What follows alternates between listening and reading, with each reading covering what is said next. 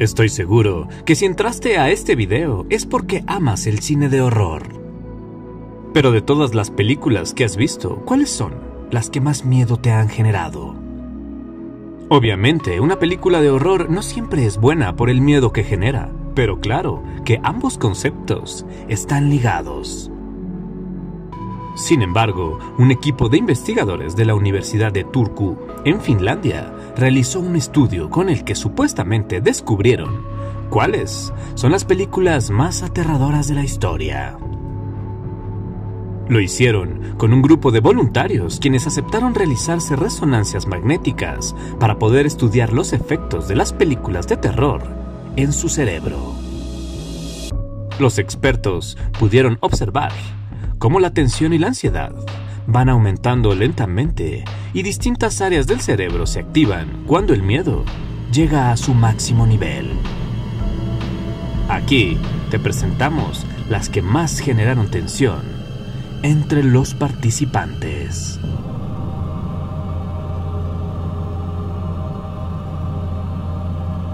Expediente Paranormal presenta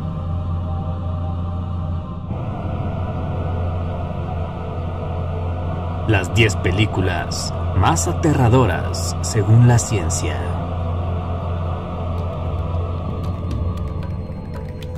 Número 10. Siniestro de 2012.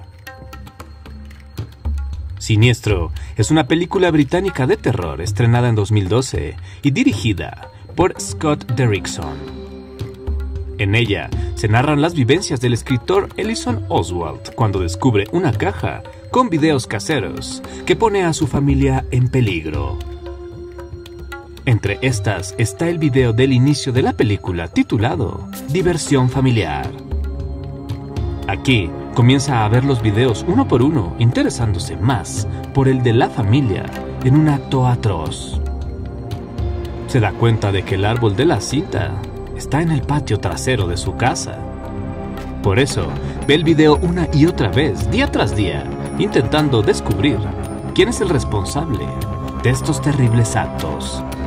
Finalmente, descubre que eran cinco los miembros de la familia, pero uno de los niños se extravió. Número 9. Hereditary de 2018. Hereditary es una película de terror y suspenso psicológico estadounidense de 2018, escrita y dirigida por Ari Aster. Cosas extrañas comienzan a suceder en casa de los Graham tras el fallecimiento de la abuela y matriarca, que deja en herencia su casa a su hija Annie. Annie Graham, una galerista casada y con dos hijos, no tuvo la mejor infancia junto con su madre y cree que el fallecimiento de esta puede hacer que pase la página. Sin embargo, todo se complica cuando su hija menor comienza a ver figuras fantasmales que también empiezan a aparecer ante su hermano. Una serie de sucesos irán desmenuzando una terrible verdad. Número 8. El Espinazo del Diablo de 2001. El Espinazo del Diablo es una película dirigida por Guillermo del Toro y estrenada en 2001. En el orfanato de Santa Lucía, una institución imponente aislada en medio de un páramo desolado, conviven varios personajes. La historia transcurre en el año de 1939. Carlos, un niño de 10 años, llega al orfanato que acoge a víctimas republicanas. Su presencia alterará la rutina diaria de un colegio dirigido por Carmen y cuyo profesor, el señor Cázares, simpatiza con la perdida causa republicana. Además, le acechará el fantasma de uno de los antiguos ocupantes del orfanato. Número 7. El extraño, 2016. El extraño es una cinta coreana estrenada en 2016 y dirigida por Nan Hong Jin. La vida de un pueblo coreano se ve alterada por una serie de decesos salvajes y misteriosos que azotan a la pequeña comunidad rural. Los rumores y las supersticiones se propagan a causa de la presencia desde hace poco tiempo de un anciano extranjero que vive como un ermitaño.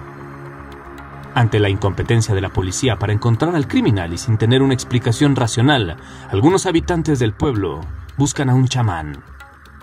Jong-gu, un policía cuya familia está directamente amenazada, también cree que se trata de crímenes sobrenaturales. Número 6. El Conjuro, de 2013. El Conjuro es una cinta dirigida por James Wan e interpretada por Vera Farmiga y Patrick Wilson. La película está basada en una historia real documentada por los demonólogos Ed y Lauren Warren. Narra los encuentros sobrenaturales que vivió la familia Perron en su casa de Rhode Island a principios de los años 70. El matrimonio Warren, investigadores de renombre en el mundo de los fenómenos paranormales, acudieron a la llamada de esta familia aterrorizada por la presencia, en su granja, de un ser maligno. Número 5. Insidious 2010. Insidious se estrenó en el año 2010 y como la anterior, también fue dirigida por James Wan. Es considerada como una nueva forma de hacer terror sobrenatural, ligada a un extraño universo. Josh, interpretado por Patrick Wilson, su esposa Renee y sus tres hijos acaban de mudarse a una vieja casa. Pero tras un raro accidente, uno de los niños entra en una especie de coma y al mismo tiempo comienza a producirse en la casa extraños fenómenos que aterrorizan a la familia. Poco a poco se darán cuenta de que en realidad la casa no es la culpable de estos, sino la habilidad de algunos miembros de la familia, quienes pueden, digamos, viajar sin darse cuenta.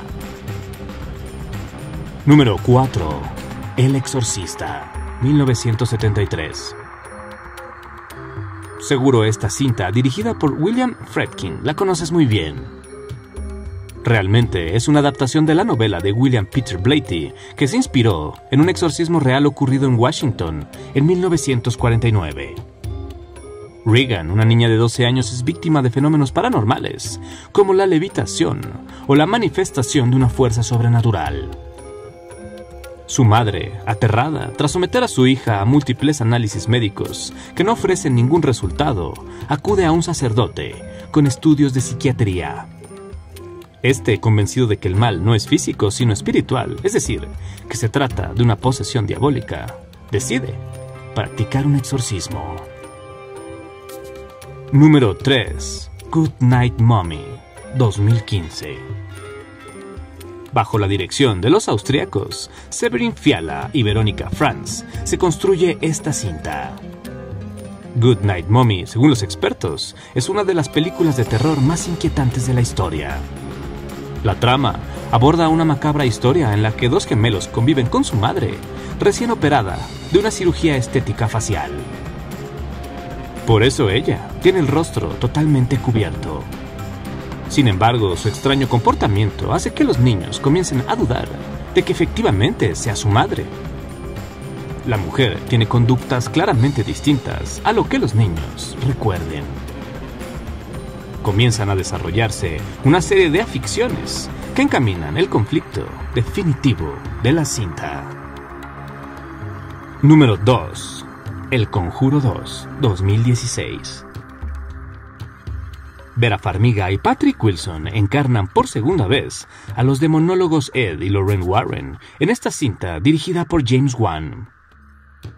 Aquí se presenta un supuesto caso real que para resolverlo viajan al norte de Londres para ayudar a una madre soltera que vive con sus cuatro hijos en una casa plagada de espíritus malignos.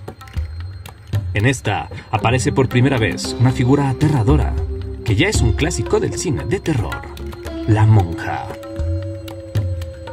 Número 1.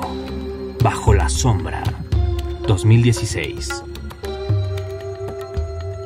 Under the Shadow es una cinta estrenada en 2016, la cual está dirigida por Babak Ambari. Es una película iraní que estuvo en boca de todos los amantes del cine de terror. La historia sucede en los años 80. Aquí, Shidea es una joven madre que vive con su hija, Dorsa, en Teherán, mientras su marido es obligado a luchar en el frente del conflicto nacional. Ella está dispuesta a no abandonar su casa, pero cuando un misil se estrella cerca de ella, Shidea empieza a creer que ha traído espíritus malignos con él y que su hija está siendo poseída por un jinn. Esta, según los investigadores, podría ser la cinta más aterradora. ¿Tú cuántas de estas has visto? Te recomiendo 10 extrañas curiosidades en películas de terror. Y la historia real de la cinta ruega por nosotros. No olvides suscribirte a nuestro canal de exploración, Las Crónicas de Gabo, y darle like a este video.